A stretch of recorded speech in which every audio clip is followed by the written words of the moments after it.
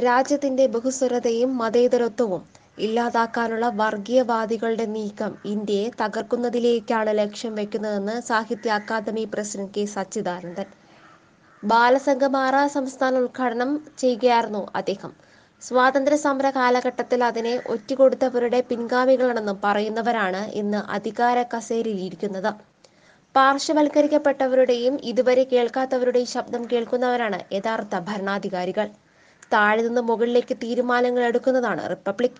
മുകളിൽ നിന്ന് താഴേക്ക് കൽപ്പനകൾ പുറപ്പെടുവിക്കുന്നതല്ല ജനാധിപത്യ രാജ്യം.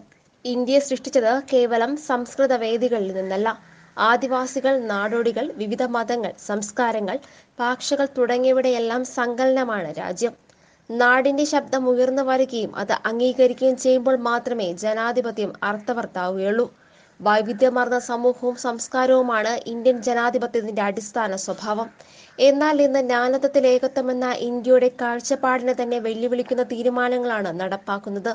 ഹിന്ദുരാഷ്ട്ര നിർമ്മിതിക്കായി പ്രതിപക്ഷത്തെ ഇല്ലാതാക്കുന്ന തീരുമാനങ്ങളാണ് ഭരണക്കാരിൽ നിന്നും ഉണ്ടാകുന്നത്.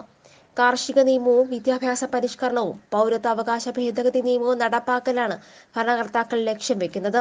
ഇതിനനുകൂലമായി പ്രവർത്തിക്കുന്ന മാധ്യമങ്ങളും നിരവധിയുണ്ട്.